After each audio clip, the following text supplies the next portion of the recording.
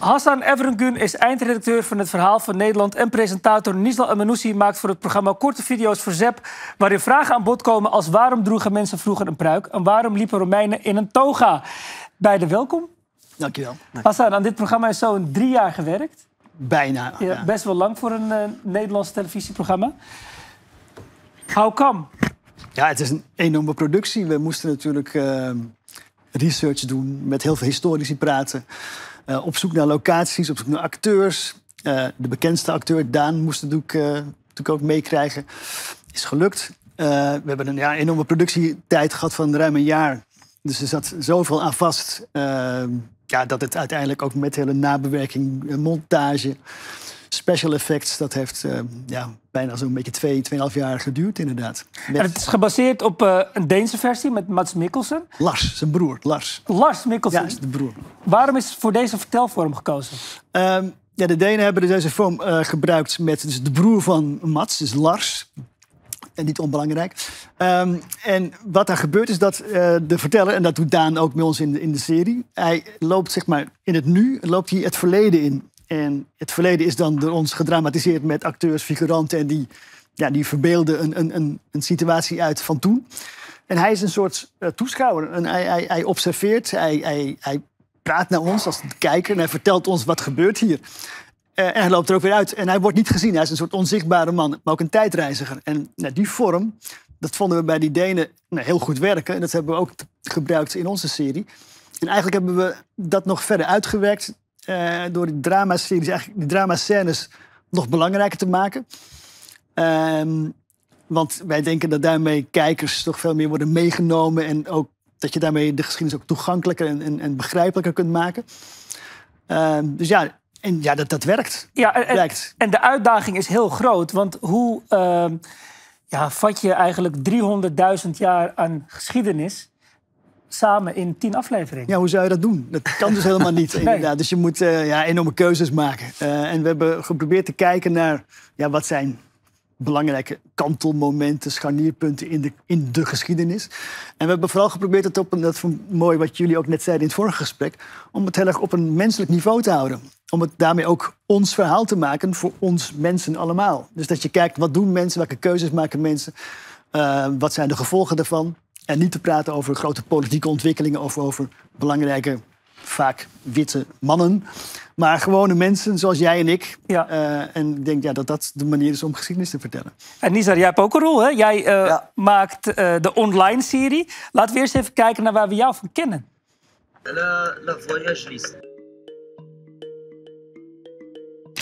Dit ben ik, Nizar. Ik had een rol in Mokromafia. Nou ja, rol. Het was een bijrol. In het echte leven werk ik op de corona-afdeling van het Erasmus MC en studeer ik geneeskunde en filosofie.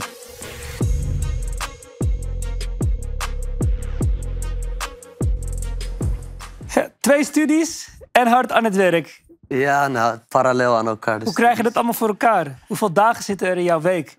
Ja, genoeg. genoeg. Nee, ik uh, studeer inderdaad, ik doe studies parallel aan elkaar. Uh, maar ja, ik... Uh, volg gewoon mijn hart eigenlijk. Dat is ja, en jij maakt dus online filmpjes voor de jeugd, voor deze geweldige serie. Ja. Laten we even kijken hoe je dat doet. Even terug, naar zo'n 300.000 jaar geleden. Dan wonen onze verre voorouders nog in Afrika. Waar we vandaan komen. Daar vandaan verspreidden ze zich zo'n 50.000 jaar geleden over de hele wereld. En als het hier eenmaal warm genoeg is, komen ze ook in onze streken terecht. Die Romeinen voelen zich een stuk beter dan die Germanen. Ze vinden het eigenlijk maar rare jongens en meisjes. De Germaanse mannen dragen bijvoorbeeld een broek. Nou ja zeg, terwijl de Romeinen netjes in een toga lopen. Kan je zelf ook een keer proberen. Gewoon een gat in een dekbed knippen. Nou, zo had ik ook wel geschiedenisles willen krijgen. Van Nizar. Ja, van Nizar. Ja, ja, ja, Ja. precies. Nizar, jij bent 25, hè? Als we kijken naar jouw vrienden, jouw leeftijdsgenoten. Hebben die, zijn die geïnteresseerd in de geschiedenis?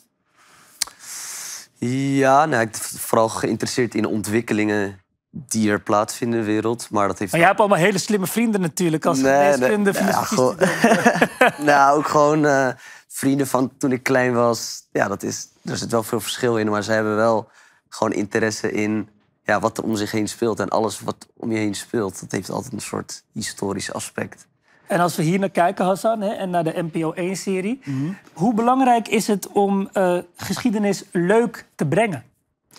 Ja, leuk klinkt natuurlijk. eh, de- de- de- Dan denken mensen vaak dat het ook meteen simpel is. En volgens mij is, is het, nou, dat, dat niet, hoeft dat niet samen te gaan. Leuk is ook een manier om, nou ja, als je- als je, eh, ja, om, om informatie op een toegankelijke manier over te dragen. Waardoor mensen nog steeds wel nieuwsgierig blijven of geïnteresseerd blijven. En denken, oh, ik zou er wel meer van willen weten. Maar jullie hebben dus gebruik gemaakt van drama. Waarom, waarom werkt dat? Ja, omdat dat natuurlijk de beeldtaal is die we allemaal herkennen. We kijken toch allemaal naar eh, Netflix of eh, weet ik veel, Videoland en de films. We gaan naar de film en we snappen al die, die, die, die spannende gebeurtenissen. En je denkt, oh, het ziet er, het is, zo, zo, heeft het eruit gezien. Het is natuurlijk allemaal natuurlijk onze, onze invulling van hoe het toen was. Want het is natuurlijk niet één op één zo. Maar het helpt enorm om ja, de kijker mee te nemen naar die andere tijd. Hè? Om ook even los te komen van je eigen tijd en je eigen plaats. Want dat is natuurlijk heel belangrijk, vind ik, dat je als mens je moet leren dat je losmaakt van wie ben ik en waar, waar woon ik, maar dat je je kunt verplaatsen in een ander. En ook in een andere tijd, maar ook in een ander mens. En als je daar in, in die andere tijd in een andere plaats bent, kun je ook weer nadenken: hé, hey, maar wie ben ik eigenlijk? Dus het, het helpt ook nog een keer om te leren over jezelf en je eigen tijd. Ja, en dat het, dat het werkt, dat blijkt natuurlijk uit het feit dat, dat meer dan 1,6 miljoen mensen hebben gekeken. Eh, waarom vind jij als jongeling het leuk om op deze manier geschiedenis mee te krijgen? Eh, nou, sowieso ten eerste het feit dat er best veel vrijheid zit in hoe je historische, saaie gebeurtenissen meestal, ja, hoe je die toch leuk kan maken en heel beeldend. En dat het to- tot de verbeelding spreekt van kinderen. En voor mij was het ook van, ja, je hebt gewoon, er is zoveel gebeurd in Nederland, maar ook in heel de wereld. En dat wordt ook in het verhaal van Nederland verteld. En ook voor die kinderen, juist ook met andere achtergronden die verhalen worden ook verteld. En dat is gewoon, vind ik, een eerlijk verhaal. En dat, ja, dat Ja. spreekt me heel erg aan. Je leert van alles. Zo leerden we in de eerste aflevering, Hassan, waar de Nederlanders van afstammen. Ja, de Nederlanders. Woorden als paard en steppen leiden ons naar een volk dat aan alle voorwaarden voldoet. De Yamnaya-cultuur. Die was ontstaan op de Zuid-Russische steppen en kwam 5000 jaar geleden met wagens en vee naar Europa. We hebben altijd het idee van, eh, we zijn Europeanen, we zijn hier altijd al geweest. En ga je naar ons DNA kijken, dan is het grootste deel van ons DNA afkomstig van iets wat, eh, wat 5000 jaar geleden plaatsgevonden heeft. Met de nieuwe volkeren die eigenlijk uit het oosten van de Oekraïnse en Russische steppen komen. En die vrijwel volledig DNA-profiel wat hier was op zijn kop zetten en, en als het ware overnemen. Mustafa, jij hebt geschiedenis gestudeerd. Ja, dat klopt, ja. Hoe keek jij naar deze serie? Ja, ik, ik vond het gewoon ontzettend leuk. Eh, ik bedoel, als eh, historicus, dat moet je dan zeggen... is inderdaad geschiedenis vaak hele grote, dikke boeken. En nu wordt het eventjes mooie plaatjes. Eh, ik vond het sowieso, dit plaatje met Abi uh, Chalgom, vind ik gewoon prachtig. Hè? Want dan zie je iemand met die tattoos. En mijn eerste re- reactie was, toen ik het zag in een promo... zijn ze nou een oude serie over Marokko aan het maken of zo? Want onze voorouders hadden ook allemaal tattoos en eh, daar- lijkt hij dan natuurlijk op. Maar nee, het ging over Nederland. Ehm, kijk, ik kijk er altijd net wat anders naar. Omdat ik natuurlijk gewoon professioneel een beetje vervormd ben. Eh, nou ja, les 1 op de Unie bij geschiedenis was... als je denkt dat je weet hoe het verleden eruit zag... omdat je geschiedenis hebt gestudeerd... dan snap je het niet. Want je hebt een reconstructie die nooit compleet is. Als iemand een reconstructie moet maken over ons leven... op basis van de televisiebeelden die ze dan hebben... dan komen we er heel bekijkt vanaf. Dus het, is nooit, het is nooit compleet, het is nooit helemaal helder. Maar het geeft je even een moment waarop je even kunt zien... hoe het er zou, uit zou kunnen hebben gezien. Waardoor mensen toch inderdaad op menselijk niveau denken... dat is interessant, ik wil daar meer van weten. Ja. En Ja. dan pakken ze dat dikke boek op. En dat vind ik er mooi aan. Ja, het is nooit volledig, maar je wil het toch wel zo volledig mogelijk vertellen. Want hoe komt het eigenlijk tot stand? Zijn er historici die er meekijken? Of... Historisch hebben meegelezen met het, eh, in de hele scriptfase. We hebben ze natuurlijk ook van tevoren ook benaderd om, te, ja, weet je, om ook van hen te horen. Wat zijn nu de belangrijkste laatste inzichten, de nieuwste inzichten? Weet je, waar staan we nu als het gaat over wat weten we van geschiedenis? Ehm, ja, help ons daarbij. Eh, nou, lees mee in wat wij schrijven en ook hoe wij die scènes schrijven. En hoe geloofwaardig is dat inderdaad? En, nou ja, goed, en ze snappen ook juist wel, ja, het is televisie. Het is geen geschiedenisboek door wetenschappers geschreven. Ehm, nou ja, en natuurlijk ook... eh, ja, we krijgen natuurlijk heel veel mensen terug van ja, wat klopt wel, wat klopt niet, wat kun je wel zeggen, wat kun je niet zeggen, maar ook natuurlijk wat is ge- gevoelig of wat is, wat is in deze tijd belangrijk om, om, eh, ja, om, om, om bij stil te staan. Ja, want over gevoelig gesproken, in onder andere de promo's benadrukken jullie echt dat ook de zwarte bladzijden uit de geschiedenis aan bod komen. Ja. Waarom was het zo belangrijk om dat echt specifiek te benadrukken? Nou ja, de geschiedenis, dat eh, wordt.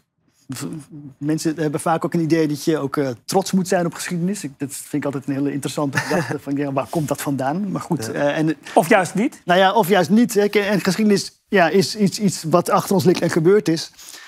Ja, weet je, en dat zijn allemaal bladzijden. Eh, en wij kleuren die eigenlijk achteraf in. En sommige bladzijden kleuren we goud en sommige kleuren we zwart in. En dat is zeg maar, onze, onze kijk op de geschiedenis. Ik hoor Nizar ja zeggen. Ja, zeker. Daar kan ik hem echt 100% in vinden. Want ook wat we vroeger mooi vonden, wat we vroeger lelijk vonden, wat we vroeger. Ja, alle waardeoordelen zijn gewoon heel relatief en tijdsgebonden.